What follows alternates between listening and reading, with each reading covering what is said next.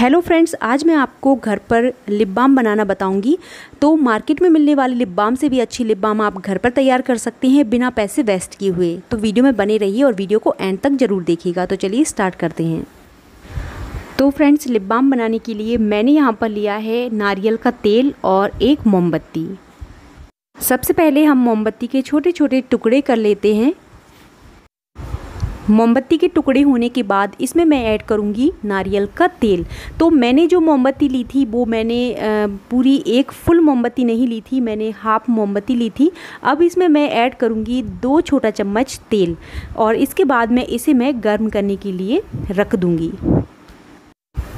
तो मैंने धीमी आँच पर इसे गर्म होने रख दिया है और अब देखिए मोमबत्ती पिघलना शुरू हो चुकी है और जब ये पूरी तरह से पिघल जाएगी, उसके बाद मैं गैस को बंद कर दूँगी। फ्रेंड्स मोमबत्ती पिघल चुकी है और मैंने गैस को बंद कर दिया है। इसके बाद में मैं नेक्स्ट इसमें ऐड करूँगी बोरोलिन।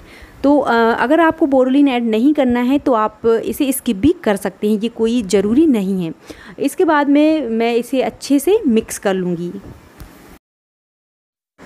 तो आप देख सकते हैं, बुरलिन को भी मैंने अच्छे से मिक्स कर दिया है और इसके बाद में मैं नेक्स्ट इसमें ऐड करूँगी कलर के लिए थोड़ी सी लिपस्टिक का कलर अगर आपको ये भी नहीं डालना है तो आप इसको भी स्किप कर सकते हैं। मैं सिर्फ़ यहाँ पर ये थोड़ा सा कलर के हिसाब से डाल रही हूँ, नहीं तो ये कोई ज़रूरी नहीं है। वैसे तो बिना कलर के ही लिप बाम होना चाहिए।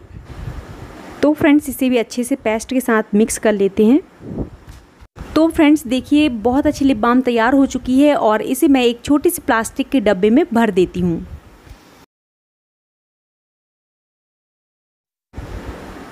तो देखिए, कितनी अच्छी लिप बाम यहाँ पर तैयार हो चुकी है और बहुत सारी लिप बाम एक मोमबत्ती से मैंने तैयार की है और इसमें नारियल का तेल भी ऐड किया है तो नारियल का तेल बहुत ही फ़ायदेमंद होता है।